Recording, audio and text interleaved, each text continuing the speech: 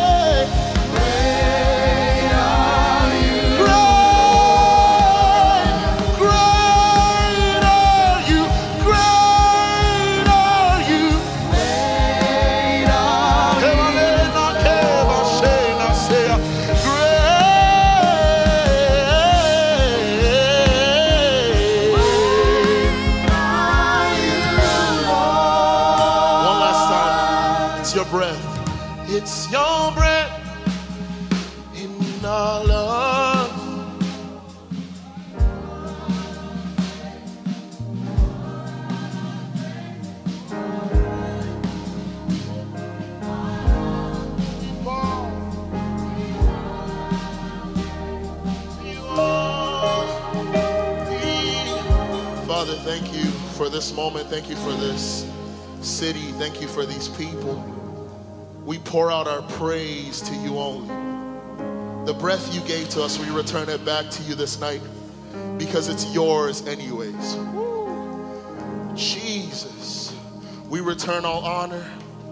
We return all glory. Jesus, thank you for every single thing that you've done. You take what the enemy meant for evil and you turn it for good. You're the one who rewrites our story. You're the one who changes our name. You're the one who has saved us. Thank you for your grace. Thank you for your blood. Thank you for your love. Thank you that you cared so much. Thank you that you see us individually. Thank you that you reached down, Jesus. You reached down. Thank you, Jesus, that you lifted us up. Thank you for the sacrifice that you did upon that cross, God. We're so grateful. All we can do is say, Great are you, Lord. Praise God all over this place. Come on.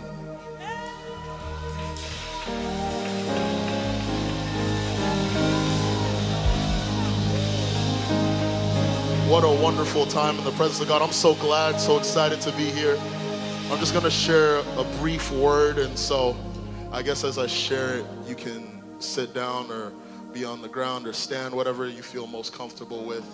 And we'll get back into, into worship in a bit.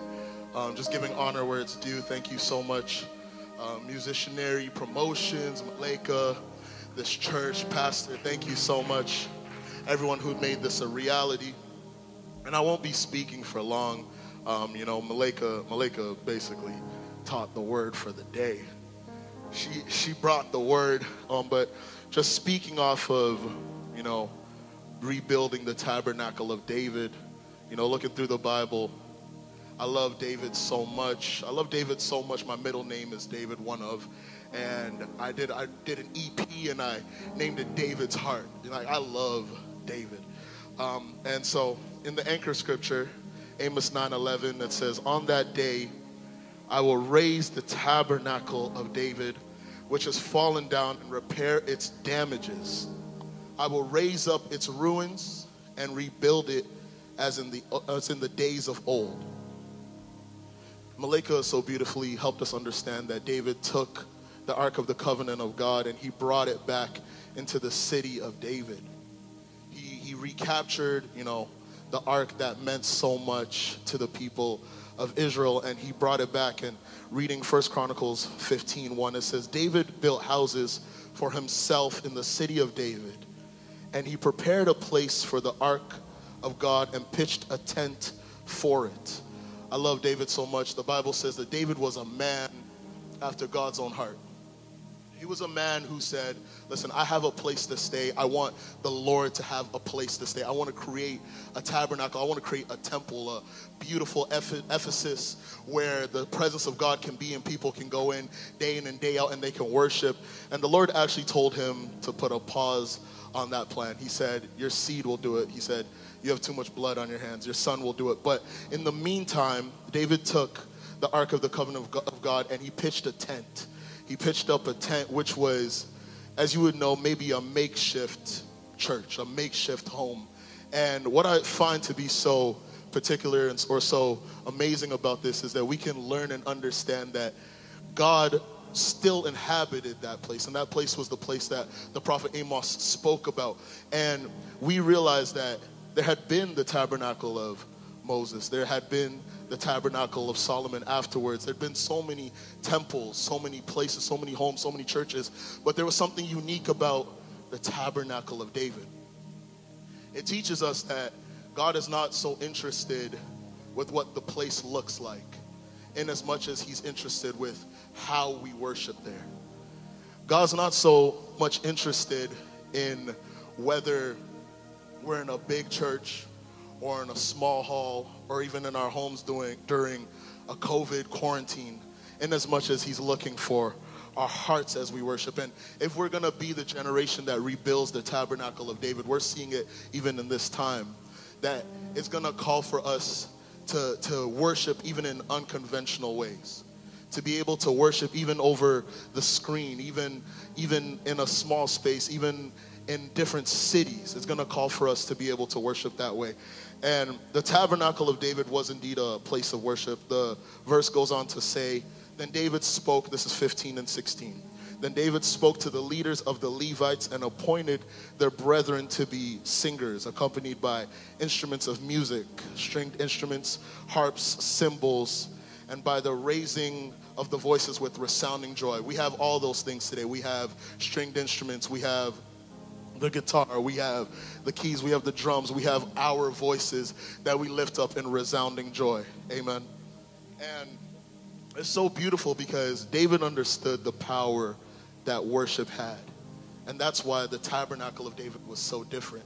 When Saul was distressed with spirits, they would call for David, the one who was skilled at the harp, the one who was prudent in speech, handsome looking, and he could play the song of the Lord for that spirit to leave Saul. He, he wrote the Psalms in, in, the, in, the, in the fields as he was watching over the sheep and, and protecting them from the, from the lions and, and the bears. It's in, it's in that place that he wrote those songs and he would play them, and the spirit that distressed Saul would leave. We believe that as we lift worship through songs and through prayer and through our instruments and our voices, that any distressing spirit has no place and has no hold over our lives and over our families. Amen. Amen. Worship is, is a place where we come and we approach the feet of Jesus. We approach the feet of the Master, not looking at the issues that we have, not thinking about how much we have in the bank account or how much we're owing or what that one person had said to us or how this person offended us. It's the place that we come and we put every single thought aside and we put it under the subjection of the Holy Spirit and we worship. We don't worship just because of what we have. We don't worship at all because of what we have. We worship because of who He is. Worship is the place that we say, You are Yahweh. You are El Shaddai. You are Elohim. You are Adonai. Irrespective of what I have, I'm going to worship you. I'm not worshiping you just to get something. I'm not worshiping you so that I can receive a certain thing. I'm worshiping you because of who you are. We said in that song, it's your breath in my lungs, so we pour out our praise. And if I were to go up to someone and I were to say, "Listen, Brandon, your voice is amazing. You're you're a great man of God. You're so you're so humble. You're so anointed. You're so handsome." If I were to say those things to him, he would be delighted, right? He would be. He, I'm sure he'd be happy if I said those things to him. And if I then came to him maybe next week and I said, "Hey, Brandon, can you teach me a song?" I'm sure he would say, "Yes." in the place of worship, we approach our Father who loves us so much and we give him the honor that he's due. We give him the worship that he's due. We give him the glory. We give him the praise. And in that place, we connect with him, not for what we can get, but knowing that that relationship will lead to everything that we'll ever need. Yes, yes. And so the minstrels ministered before the ark regularly. It was their job, it was their duty. In the tabernacle of David, they showed up morning and night and they sang before the Lord and they played before the Lord and they ministered unto the Lord. The tabernacle was a place of undignified praise. Malika alluded to this and she spoke about how King David was coming after the, the ark had blessed the house of Obed Edom and they carried it, the Levites carried it, and he was dancing and he was losing his mind. He was I, am trying to think about the, the dance moves he was doing if they were in 2021. He was, I don't know, maybe you could shout them out. Shakuin. he was he was doing it. He was doing this thing. And his wife saw him and said, like, why are you doing this? You're a king. Like, you shouldn't, you're in such a high position. You shouldn't be doing this. And I believe that that's what holds a lot of us back, even in a place of worship. We start to think about how we appear and what someone may think and and someone may say we're doing too much and you know we may be out of character but the thing that david understood was when we get to heaven it's not about how you looked or how you or how you look or how someone perceived you but it's about focusing on the sovereignty and the goodness of God. And so he said, You know what? The Lord is good. And so he danced as a king, as the, the most powerful person in that land. He could have been like, Someone dance for me. I'm about to chill on this, on this hammock. But someone dance for him. But he said, I'm not too big to get down and dance. I'm not too big to lift my hands. I'm not too big to, to lift my voice. And I think the more we understand this, we see that no matter how far God takes you, no matter how many promotions or elevations or degrees or or, or statues or, or or medals, no matter how many things He gives us, it's His anyways. It's His breath that's in our lungs. It's because of Him that we can move and have our being. And so we return it all back to Him in the place of worship. Each time we show up into spaces like this, we return it all back to Him. We're not too ashamed to, to lift our hands. We're not too, we're not too afraid to, to raise our voice. David being king and priest, David being a king and priest, danced till his clothes basically fell off. And people would look at him and say, This guy is, he's crazy. But he understood the goodness of God. So, fast forwarding in the New Testament, in Acts 15 16, the disciples and, and people are arguing and they're saying, you know, these people who want to be believers must do X, Y, and Z. They must be circumcised. They, they must go through this and that. And James says, after this, he remembers the prophetic word. He said, I will return and will build again the tabernacle of David, which has fallen down, and I will build again the ruins thereof, and I will set it up. And he remembered that word that the prophet Amos had spoken about the tabernacle of David many years later. It's because he understood that, that, that when Jesus died, he left and he went to heaven and he sent his Holy Spirit. And his Holy Spirit dwelt and indwells in every single one of us as believers and as his children.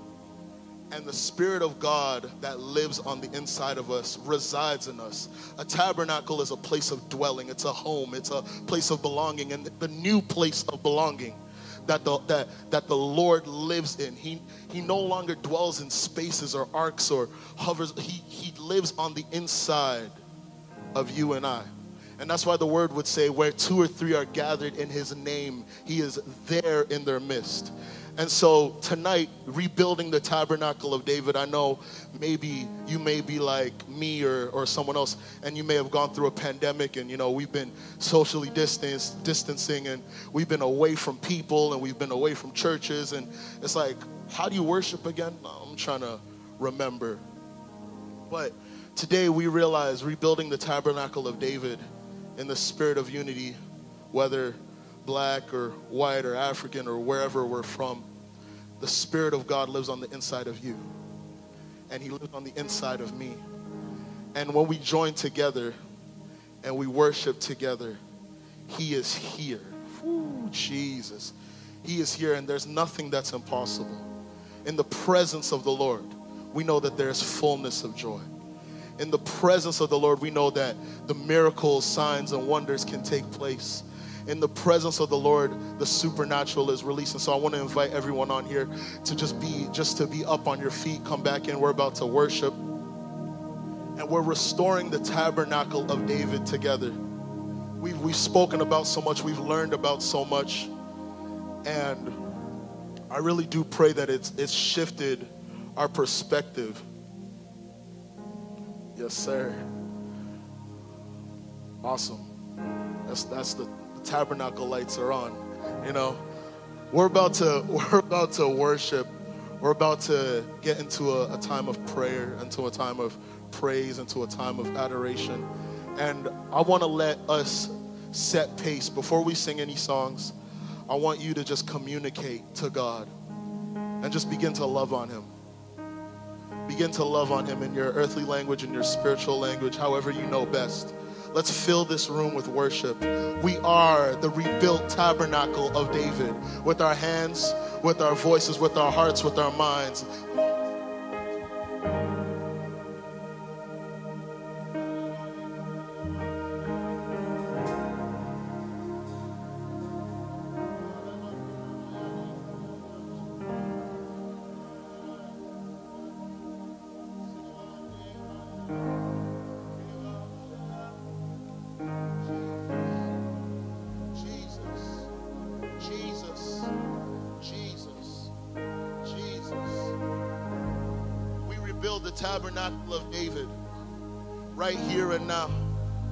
With our worship. We're not holding back anything. This will be the generation that approaches the throne of God boldly. This will be the generation that approaches the throne of God without shame. The spirit of shame is broken. The spirit of fear is broken. The spirit of insecurity is broken in your presence. Thank you, Jesus. Jesus, Jesus, Jesus, Jesus, Jesus.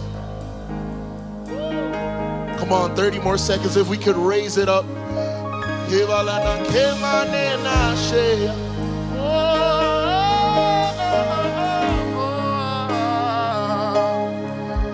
We lift up a sound to heaven.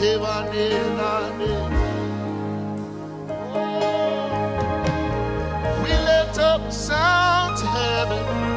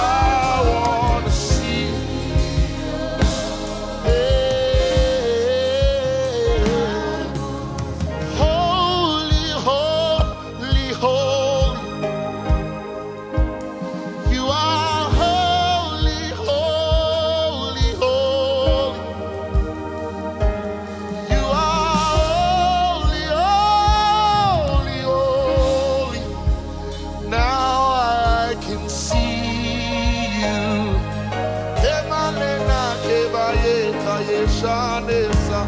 Holy, oh.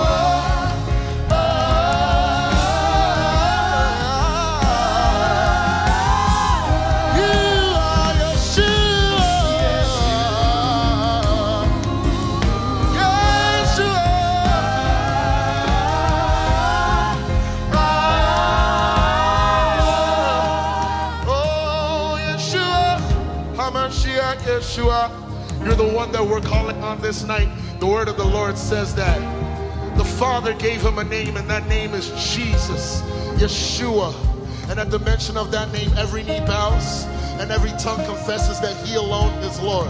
There are so many other names in this world. There are so many other so many other powers, so many other names, but the Bible says it must bow at the name of Jesus. And so tonight, as we lift up the name of Yeshua, everything falls down. There is only one kingdom that stands, and that's the kingdom of the Lord God Almighty. There is only one power that stands.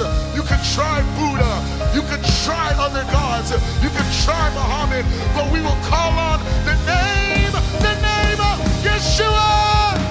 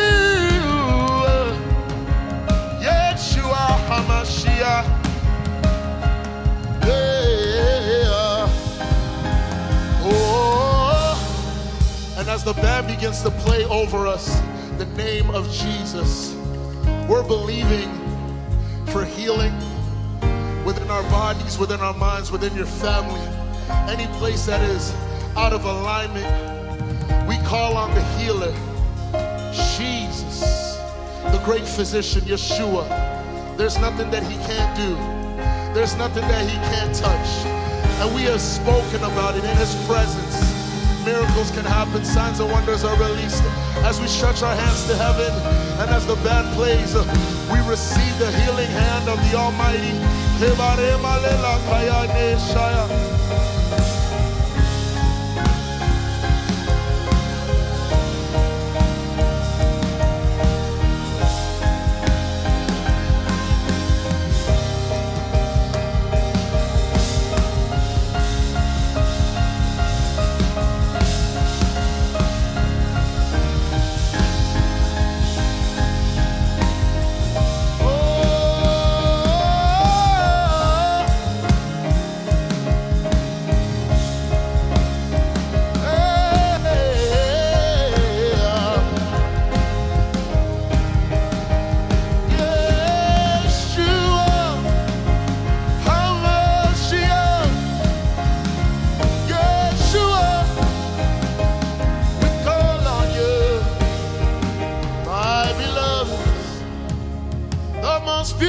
One.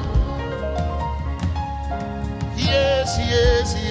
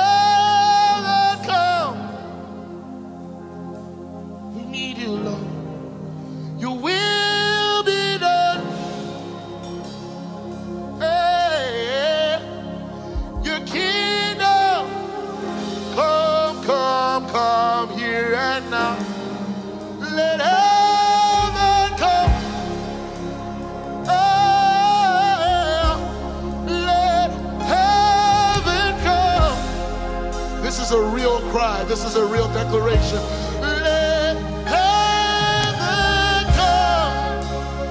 Let, let. In the kingdom of heaven, there is no sickness, there is no lack. Say, let heaven.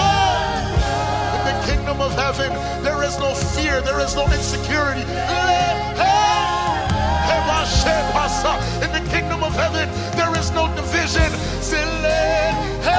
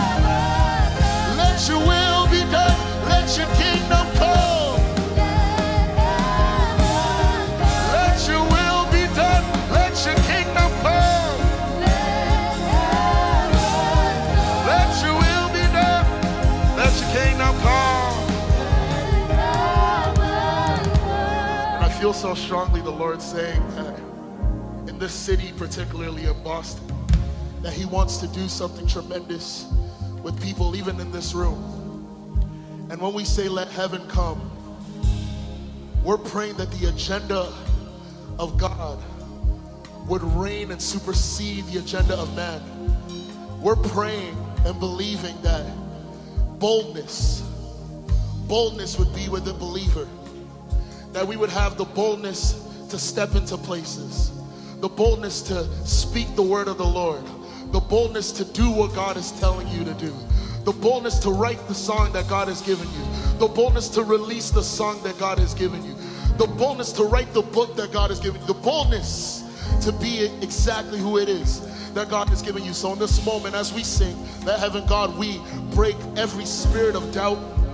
We silence the lie of the enemy that says that your children are not enough. Jesus, your word says, that you have called us a royal priesthood, a chosen generation. We break every lie of shame, of doubt, of fear, and we replace it, Jesus.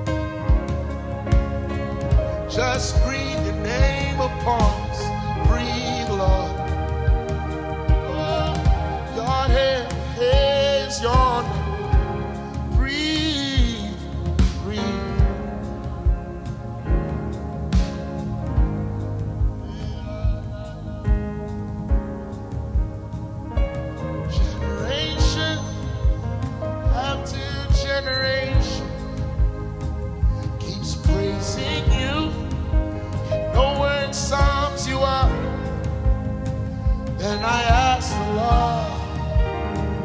what name fits you. And you said,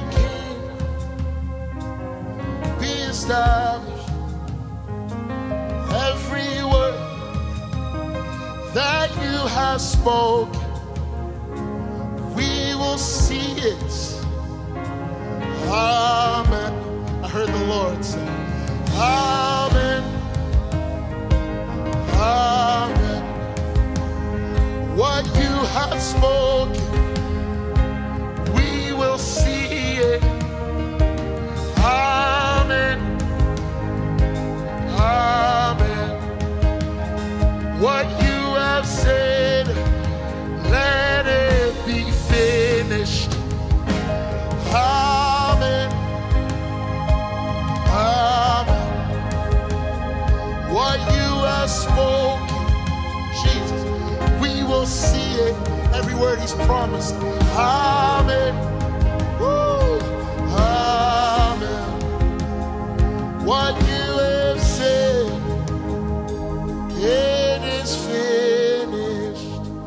what you have said, what you spoke. amen. It is finished.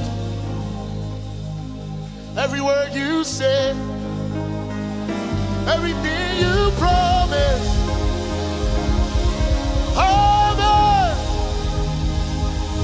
It is finished what you have said.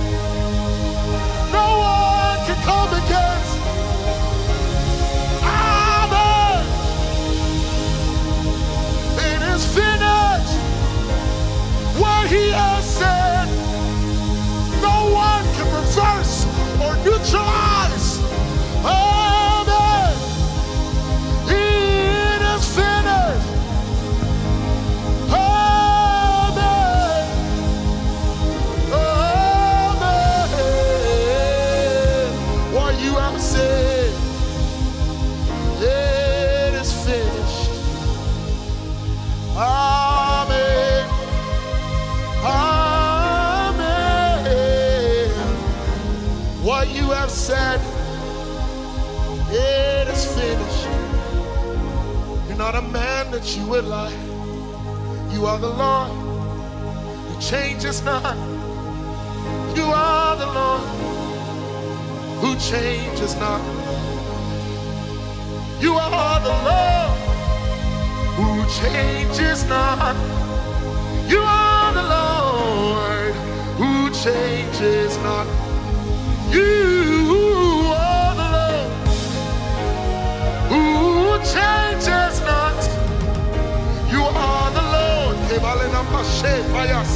Who changes now? Yeah.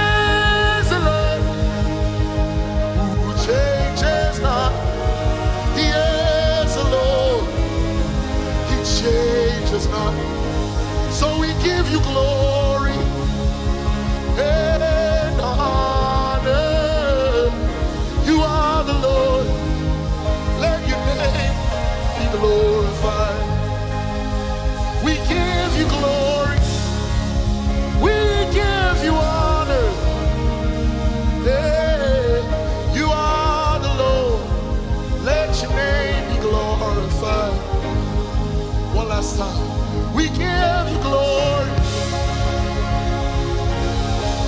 We give you honor. You are the Lord. Let your name be glory. We are believing the Lord that every word He has spoken concerning your life shall surely come to pass. Let your name be glorified.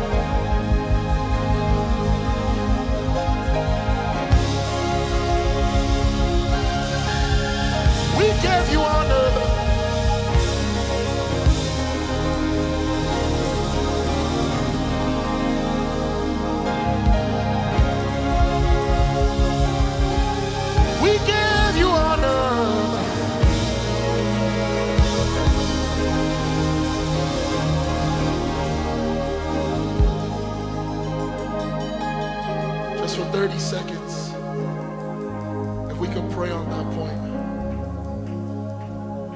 We trust you.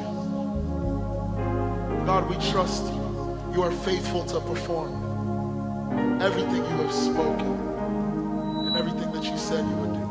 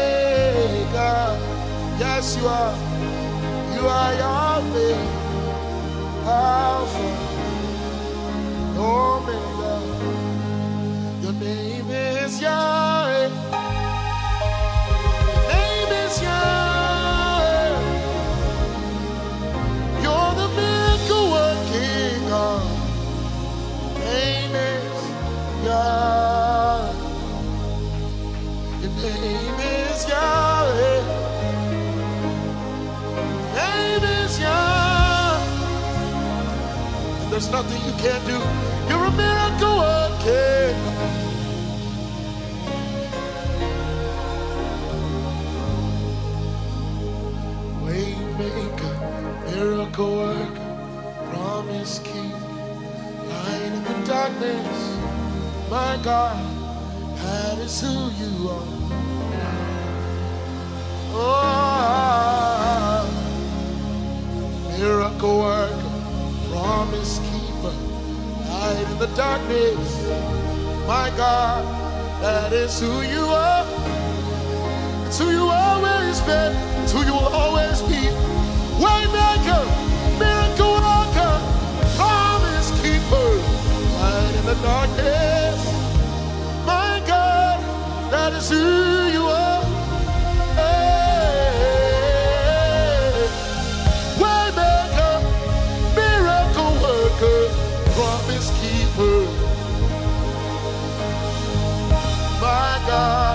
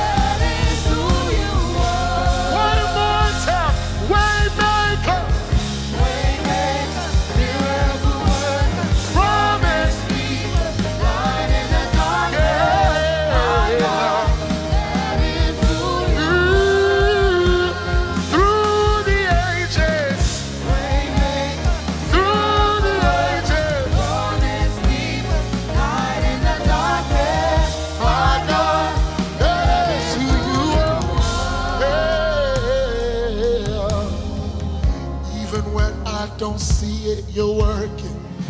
Even when I don't feel it, you're working. You never stop, you never stop working. You never stop, you never stop working. Even when I don't see it, you're working. Even when I don't feel it, you're working.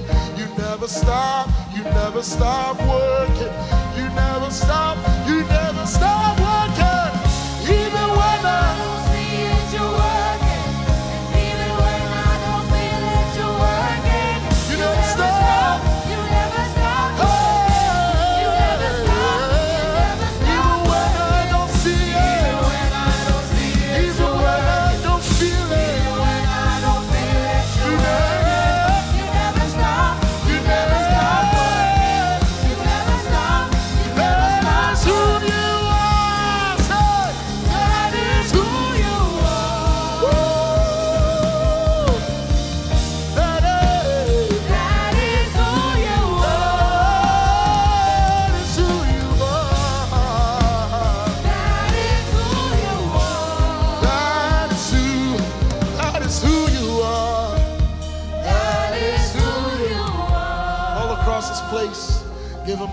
a shout of praise.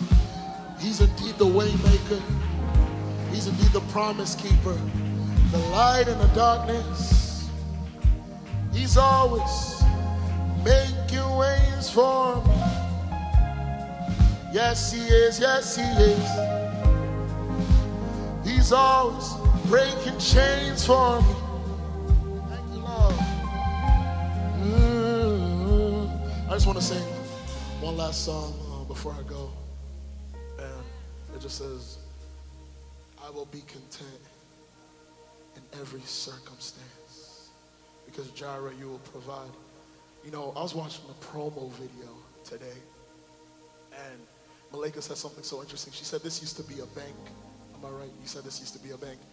And she's like, We're, we're believing for provision and, and supernatural breakthrough and and all this stuff. And can we just cement that with this song, saying that Jireh, you will provide.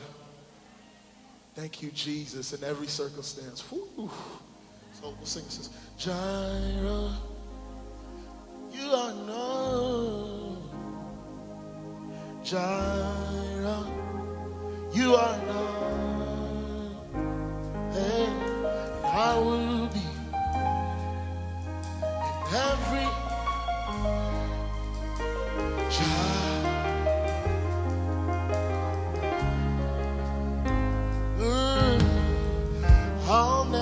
more loved than I am right now. Wasn't holding you up, so there's nothing I could do to let you down. It doesn't take a trophy to make you proud. I'll never be more loved than I am right now. Yeah.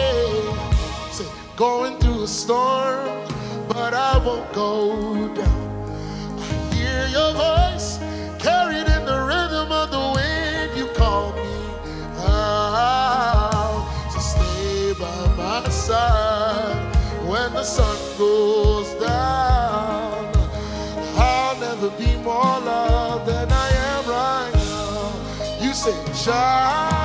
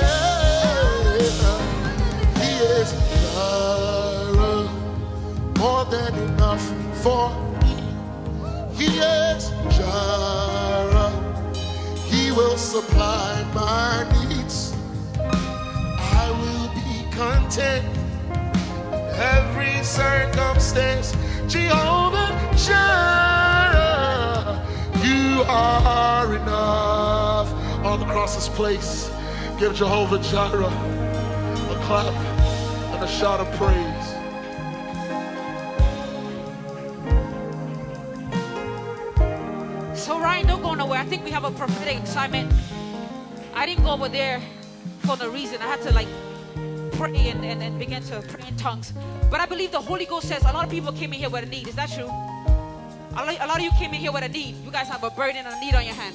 I see one brother. Anybody got else got to have a need? I see two. Don't be shy. Uh, where's I was gonna say Brandon. Brandon, can you put the lights on for me? Cause you know where it is. Somebody said, "Let there be light." That's right. Jesus did that. But I think the Halamatu Kapanta. I believe the prophetic assignment tonight because Ryan raised a song. He said, Amen, it is finished. Ryan, was that is that a, a, pre-recorded song or was that a prophetic song you were releasing? Was that a prophetic song you were releasing? Have you ever sung it before? Has it ever been written? Hamatu Kapanta. Have you ever been written before? Okay, so I believe the Holy Spirit is speaking to me. I believe a lot of you came here with a need and you see the wall. The church has turned the wall into a prayer, right? Don't look at my, don't look at my, thank you, honey. Don't look at the flesh like I'm just human, but look at the God in me. And if you believe this prophetic instruction, the Bible says if you believe as a child, I believe God will answer your prayer. I want everybody to grab a marker and prophetically Ryan is about to sing and I'm about to lift up a, a prayer. Grab a marker and put that need on this wall. This is a sanctuary. This is a holy place, and this wall has been turned into a prayer request. And now, while I, while I was praying, and He, Lord, told me Ryan is about to release a prophetic song, and He released it. But you know, I was praying with my prayer partner. We were praying every Adams. God bless you. We were praying every Monday and Thursday, and one of our prayer topics was like, Lord, release. You know why? Because the Bible says in Zephaniah, the Lord in the midst of thee is mighty. I will sing over you. And I believe what happened, the Lord did. He's imatuya lapantu kapanta. He began to sing to Pastor Ryan because he understands that you guys have a need. All of you guys came here with a burden. I can sense it. And then he raised the last song, Jireh. Prophetically, I believe the Lord is saying something. Grab a marker. As he began to sing prophetically, I want you to write the need on the prayer wall. You don't have to put your name. Don't put your name. Be be anonymous. Don't put your name. And a prophetic, I believe prophetically, as he releases a song, that's amen. It is finished, or whatever the Holy Spirit is leading to you. I believe your prayers will be answered. I'm also pray, amen. All right, Ryan, release the prophetic word. Y'all begin to write your prayer. I'm gonna write mine as well. Amen, amen, amen. Let it be done here on earth. Amen, amen, amen. You see every word. Amen, amen.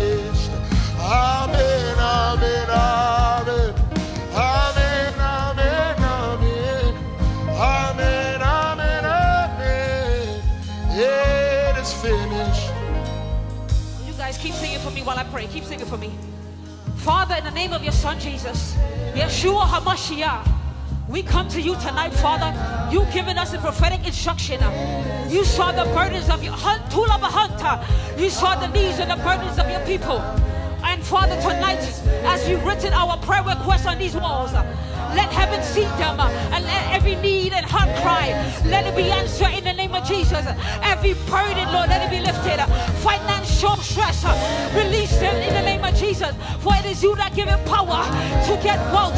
It is you that give him power to get wealth in the name of Jesus. Every heart cry, Father, of your students, of your young adults, of your mothers, of your sons, of your daughters, Father. We pray that you answer it, Lord. You said those that access shall receive, Father. And Father, we ask, oh God, let these prayers be answered in the name of Jesus. You said, Call unto me, call unto me, call unto me, and I will answer thee. You set the call, and Father, we have written, we are called to our writings, and tonight, let it be answered. Let it be answered in the name of Jesus. In the name of Jesus, every need, every scholarship, my God. Anta, anta, takapanta. That one that needs a scholarship, Lord. Lord, let it come forth uh, in the name of Jesus. Uh, we lift the gates. Uh, we lift the gates that have been shut, oh God, to that scholarship in the name of Jesus.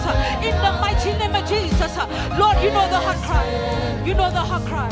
You know the heart cry of your people, Father. You know the silent cry. Father, we lift our cup up tonight and we ask that you fill it, Father. We know your presence is here. We felt it. We thank you for every angel that's been in this building. May the angels carry our prayers in, inside the instinct bowl and may it go up to the heavens tonight. Father, we thank you for a sound testimony because we gave you what you cannot give yourself, which is worship. We gave you the ultimate worship, Father. And Father, we thank you so much for what you did here tonight. We thank you for the prophetic song. You did tell me you was going to release one tonight because you said you will be in the midst of us mighty and you will sing over us with joy. Father, we thank you for singing through your servant. Let us know, amen, it is finished. Tetelestai, it is done. That need, it is it is answered. It is the provision is here. Ayantuma kapantukutu. Ramatuma kapanisun talabahaya. We thank you that the need has been answered. And we thank you for many testimonies in Jesus' name. Amen. Wow, wow. Let's give it up for King Jesus, not for Malika. Let's give it up for King Jesus. Lift it up for King Jesus. Lift it up for King Jesus. Lift it up for King Jesus. Lift it up for King Jesus. Make a shout. Make a shout. Make a shout. Ah.